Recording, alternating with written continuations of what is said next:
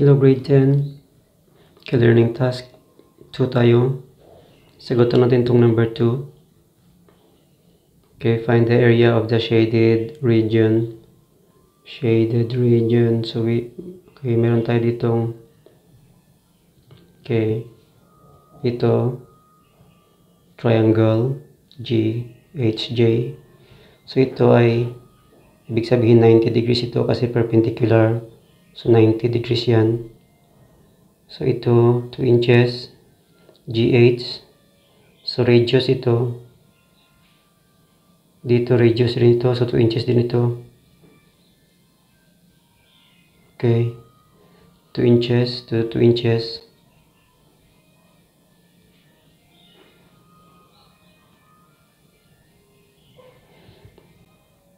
Okay. So, gamitin natin dito ang Okay. Pagkatapos ito 90. So, ibig sabihin dito, pag ito diameter, this is also 90. So, pag ito diameter, so 90 na ito. Ito 90. So, 90, apat na 90. So, yung circle natin nahati sa apat. So, apat na area. So, okay. So, for equal parts, yung circle natin. Okay, gamitin natin ito. Area of the circle. Okay, ito. Area ng circle. Wala naman sinabi kung anong circle ito. So, circle. Pi r squared. Itong area ng triangle. Gamitin natin mamaya. Okay, area ng triangle GH. Ah, air circle H pala ito. So, circle H. Area ng circle H. Dito. Circle H. So, dito, circle H. So, itong circle na inahati sa apat.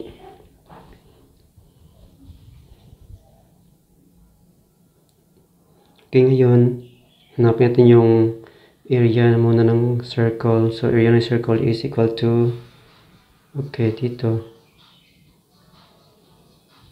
pi r squared the big whole circle ito. So this is a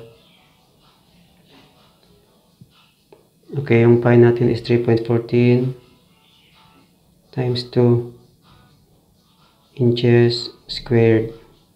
So this is equal to okay 3.14 times 4 inches squared. So ito na. So 3.14 times 4 So, gamitin yung calculator. 3.14 times 4. 12.56. So, this is 12.56 inches squared. So, 12.56 inches squared. Ngayon, yung circle natin, nahati sa apat. So, apat na area. So, ihatiin natin to sa apat. So, times 1 fourth. So times 1 fourth, this is a 12.56. Okay. Divided by 4. So 3.14. Okay, 3.14. Sagot natin 3.14 inches squared. Okay, ngayon, ito na yung area ng ito 3.14 inches squared so ngayon hanapin ito yung shaded area. So yung shaded area is equal to the sum of this whole area here. No shaded area is equal to the this uh, part this whole part and this minus the triangle. Okay? So this whole part minus the triangle is equal to this area. So, this part minus the triangle. So, hanapin natin muna yung formula, ay yung area ng triangle, ito. So, ang triangle natin is uh, 1 half base times height.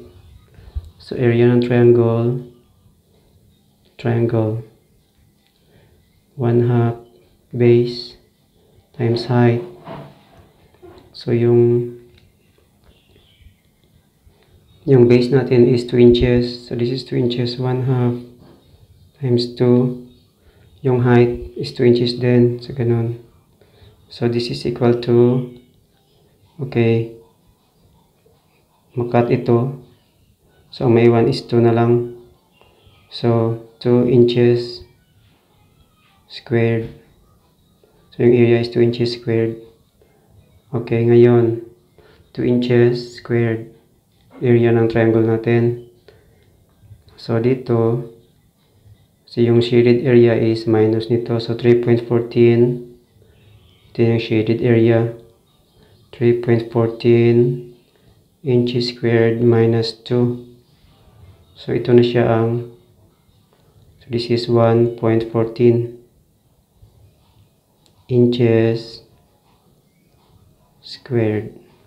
So, ito yung ito na yung area ng ito yung shaded region. So, 1.14 inches squared.